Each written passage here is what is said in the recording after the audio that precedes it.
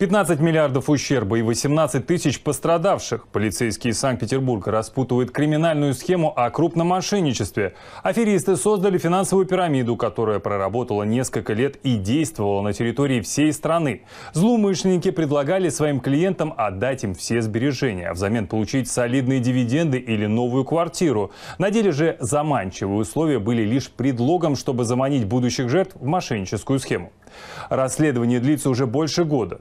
Сегодня впервые МВД опубликовало видео из материалов уголовного дела. Кадры обысков в материале Дениса Бушуева.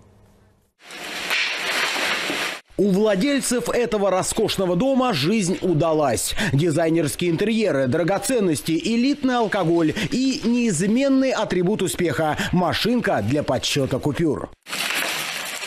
Полицейские проводят обыск, ищут документы, которые способны пролить свет на поистине грандиозную аферу – финансовую пирамиду, в сети которой попали 18 тысяч человек. У них выманили 15 миллиардов рублей.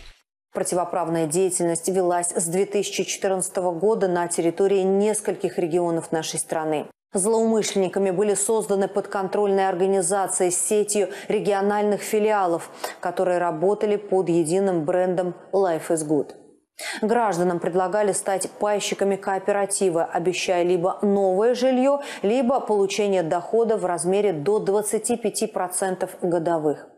Они даже проводили рекламный автопробег по России. За каждого нового клиента пирамида обещала своему пайщику выплату. Чем больше привлек людей, тем больше комиссионные. У вас уже третий карьерный уровень, и у вас уже 7 евро за одну единицу. Итого за очередного пайщика в кооператив вы можете получить 560 евро.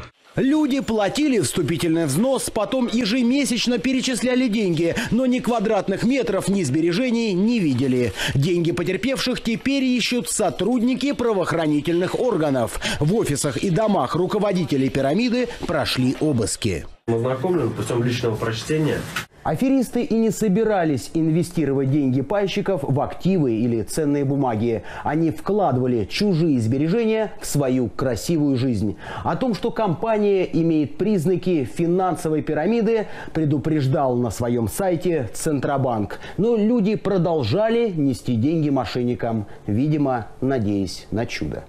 Стражи порядка закрыли пирамиду в марте прошлого года. Полицейские возбудили 13 уголовных дел. Четверо подозреваемых под стражей. Все.